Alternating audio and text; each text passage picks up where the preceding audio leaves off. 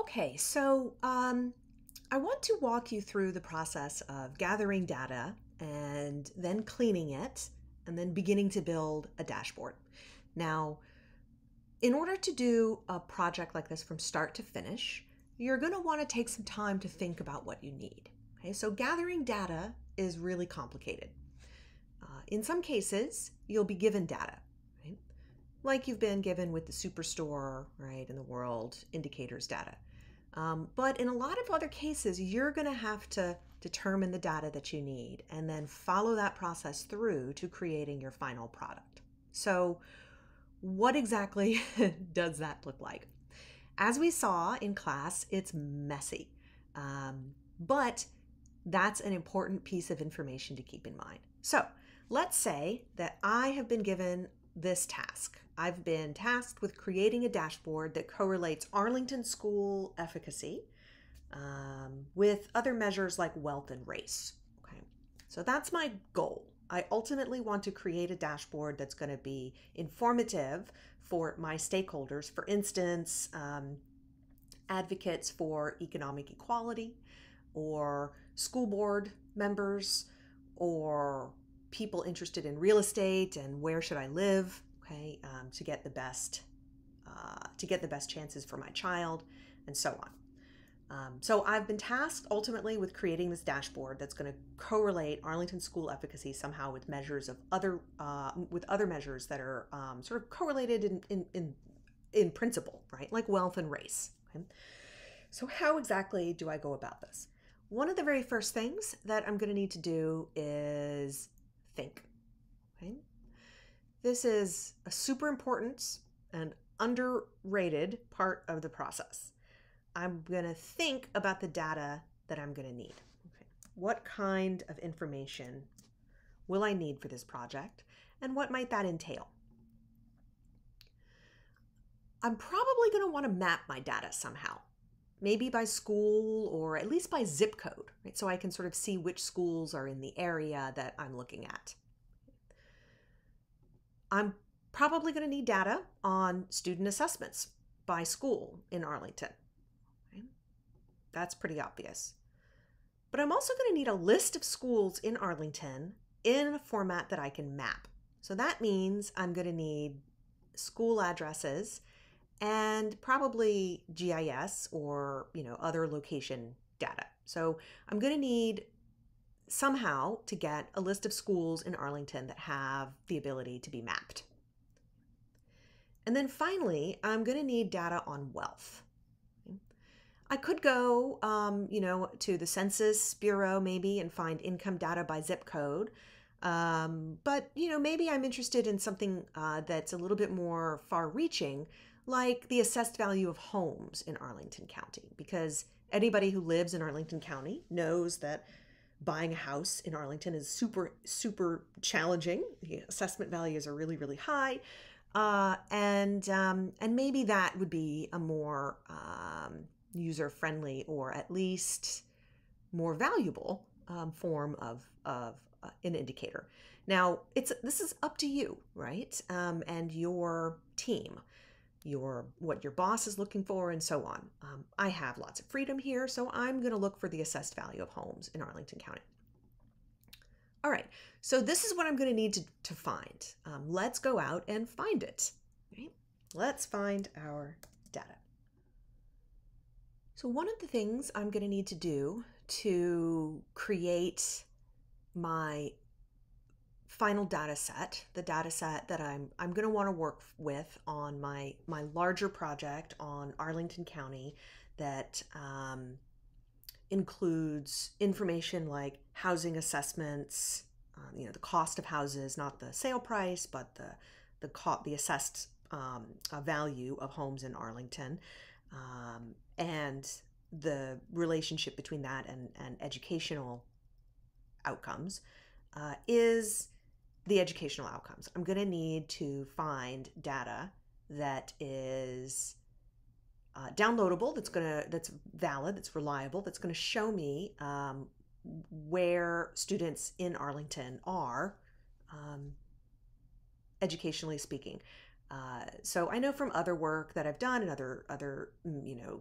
investigations I've I've I've done um, that I'm going to look for standards of learning SOL pass rates. Okay, so I did a quick search for something like this Department of Education SOL passage rates or pass rates. I might want to add in Virginia there. Uh, but one of the first things that came up for me was this VDOE SOL pass rates and other results. Um, I know that VDOE is the Virginia Department of Education. I look at this, I see Department of Education at virginia.gov, statistics, reports. Okay, so this is probably something that I want. Okay. So I'm going to go ahead and click into this. Oh gosh, this looks really complicated. Okay, let me take some time and see what I have here.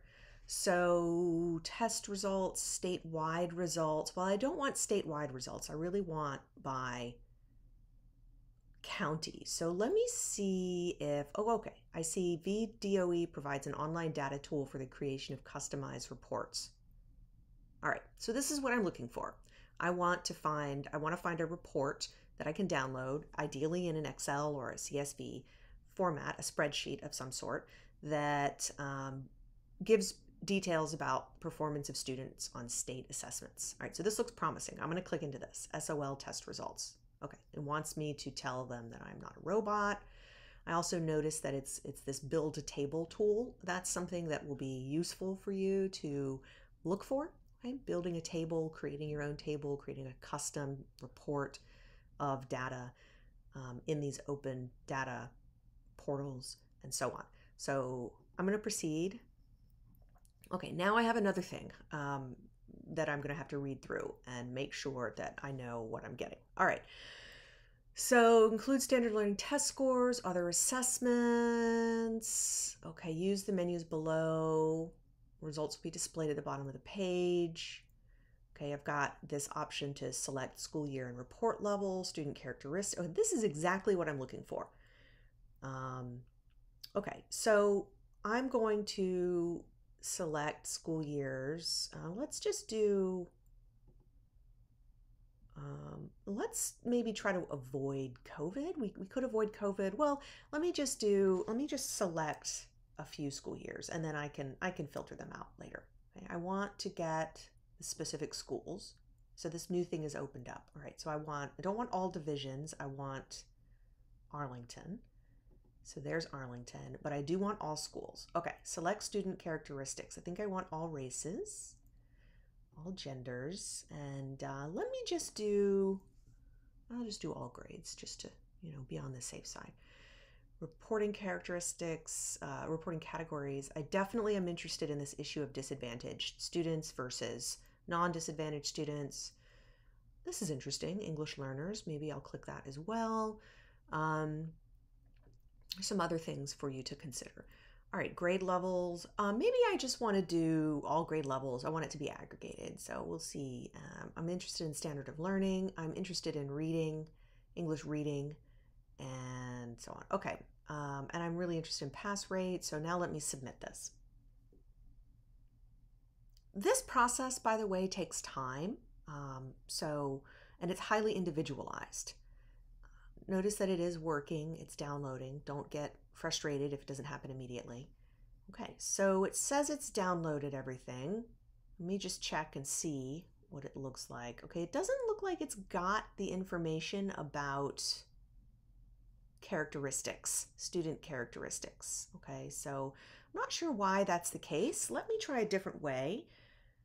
Let me select it like this, right? And let's see if that if that works, maybe. And let's do female and male, or let's do all genders. Okay, let's try this and see what happens. A lot of it is going to be trial and error as you're finding your data because there is no one universal portal for all data. Okay. and this is part of the reason that we had some challenges last class. All right, let me see if this worked. Okay, this is a little better. It's giving me race. It's not giving me gender, um, which I kind of want. So let me go ahead and also grab all gender. Is it giving me all grades or it looks like it's giving me by school, pass rate by school. That's fine. That's that's really all I'm looking for. Um, but I do also want disadvantaged, this issue of disadvantaged students. Um, I'm kind of interested in if it's an English, if these are English learner students as well. Um, but let me just bracket that for a moment. All right, let me go back and submit.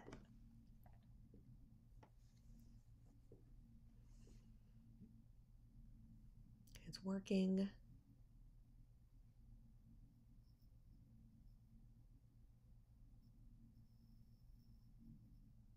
All right, let's see what it looks like now. Okay, good.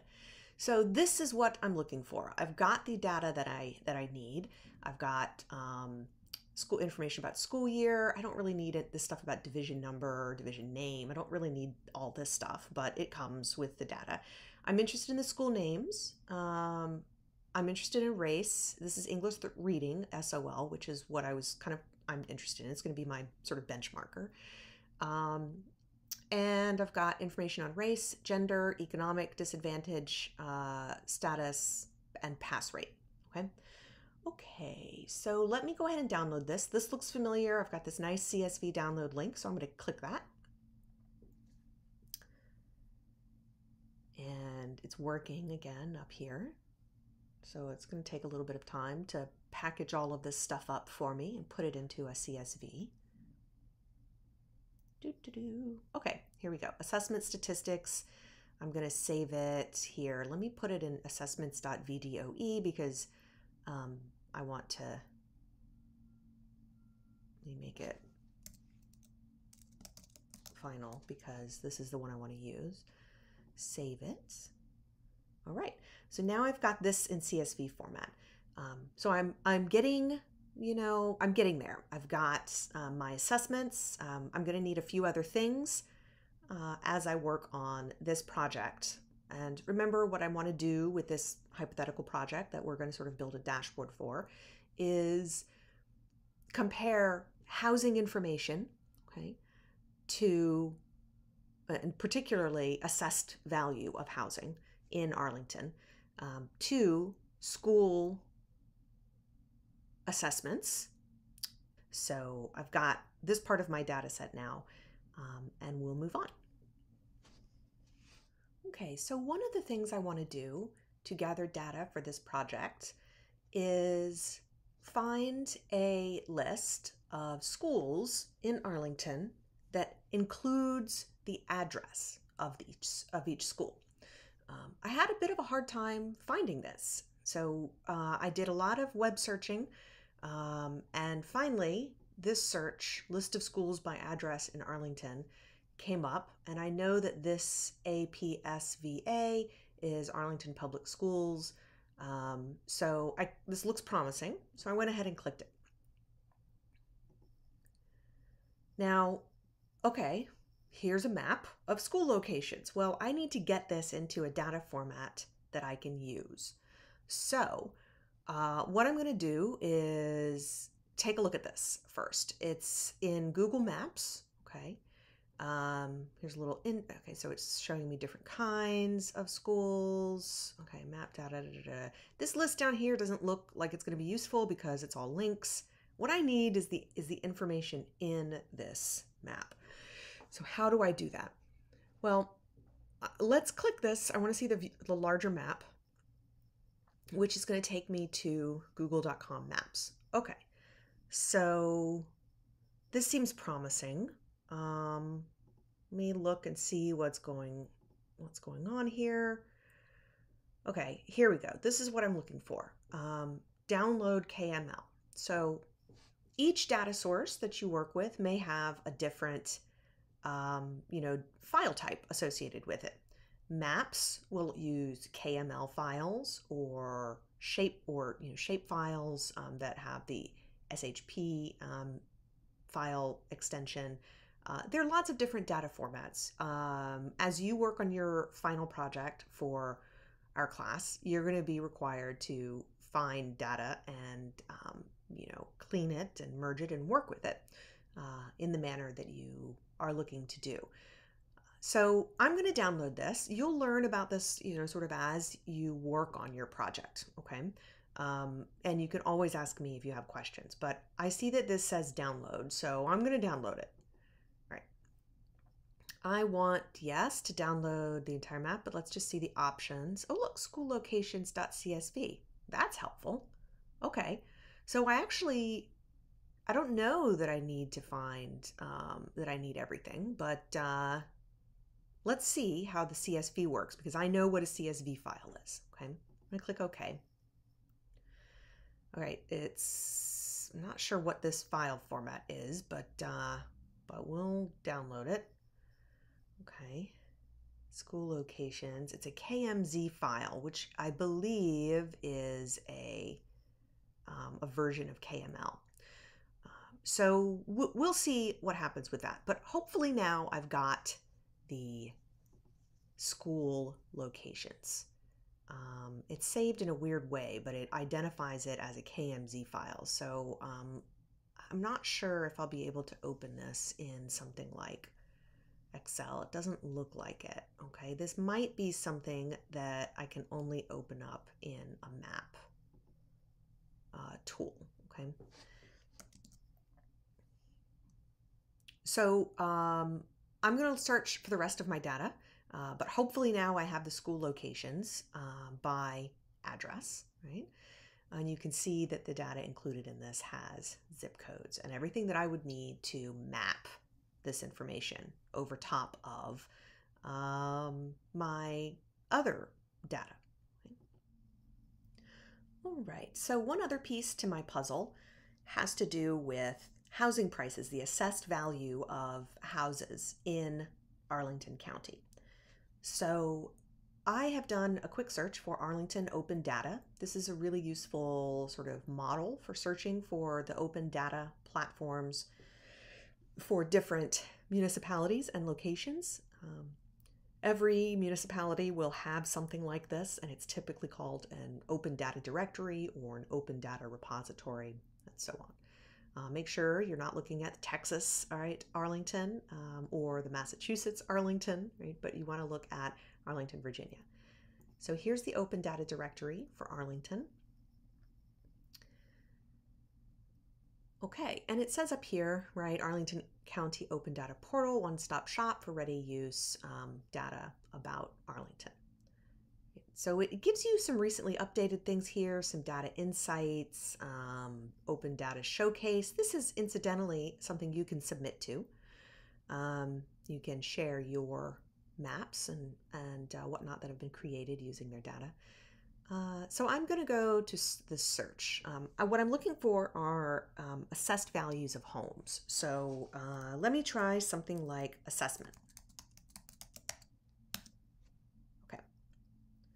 All right, assessment payments, mixed use assessment. All right, let's see here.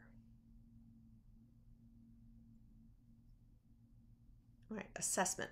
So I noticed that there is a category here called real estate. Let me click that and just see if there's anything else that, okay, collection of data sets related to real estate. Let me see if there's anything else related to what I'm looking for. Property, property redivision, property class, mixed use assessed property address. Okay, here's what property address information, which is probably going to be useful to me. So I want to kind of note that. Includes tax assessment, historical assessment information. Data set includes the annual tax assessment payment history. Well, I'm not really interested in that. Um, let's take a look at this. All right, view all data. Uh, column details. Let me get an overview of this. Okay, so I've got this is this is these are the columns that are going to be in the uh, data set. Okay, um, assessment key, real estate property code, uh, assessment assessment dates, Okay, land value amount, total value amount. Okay, so this is what I'm interested in, land value and total value. All right. Um, just check detailed metadata. Okay, data views. It doesn't give me a specific view, but I can download this data set. This is going to be a pretty big data set. Okay, so I'm going to go ahead and download it, but do remember that this is going to be a big data set and it's telling me that it is sort of a zip file. All right, so I'm going to download it. And oh, it's in a text file, which is sort of weird, um, but that's fine. We'll see what it looks like. It's a gzip. Um, I'm going to save it into my dashboard data folder. And, there it is. So it's downloading. Uh, it didn't take too long to download, um, but now I'm going to take a peek at it because I want to know what's going on with it. All right, let me open this up. I'm going to have to unzip it. I think I can just double click it and open it and it's unpacking it for me. All right, so yeah, it saved it as this test, this text file. Let me look at what that is. I'm going to open it up in my text edit file. Okay. Oh gosh, this looks fun. I'm going to somehow have to get this into a format that I can work with, which needs to be um, a spreadsheet of some sort. All right, it looks like it's separated by this um, pipe sign. Okay, that's what it is. So, so where comma separated data is separated by a comma, tab separated data is separated by a tab. This looks like it's sort of pipe separated data. So I should be able to work with this, all right? What I'm gonna have to do is use this, this knowledge, right, of how this data set is set up to help me clean it and make it ready, all right? But now I've got it. It's, an, it's a text file, which is not ideal, but, but I can work with this. All right, so that's good. Um, and now what I want to do is, I believe, get the final piece to my puzzle, which is uh, address data. So let me go back to my Arlington Open Data page, and I want to go back to real estate. And you'll notice that it, it will sort of tell you, right? Um, it'll give you some information about that data set. Uh, so it was last updated 10 hours ago, which is pretty cool. It has over 2 million records, which is a lot. I know I'm not going to need all of that data, but um, historical uh, all properties identified by a, a, real property code. Okay, associate with property table to obtain address. All right, so this is inf important information. But I've got my assessment data. Now I want to get the property address. So this is can be associated with other by RPC. Okay, so property address. This data set includes a primary address, maybe additional data, blah, blah, blah, number of records. Okay, so this is much, much smaller. Um, but it will, it does say that it's got, it's got the RPC in it, which is the same thing up here. So I'm going to need to associate these two files, okay, so that I can connect the assessment data to the property address. So I'm going to click into this. And again, it's a text file, which is really fun, but uh, let's take a look at the columns. Okay, It's going to have the RPC. Okay, so that's important. That's what I'm, I'm going to need that. All right, it's got a lot of stuff in here um, that I'm not going to need, but it does have information about geography, which is great. So um, that's good to know really what the only thing I want from this is the actual address. Okay. Um, let me see if I can find that. It's got to be in here. Here we go. Physical address. Here we go.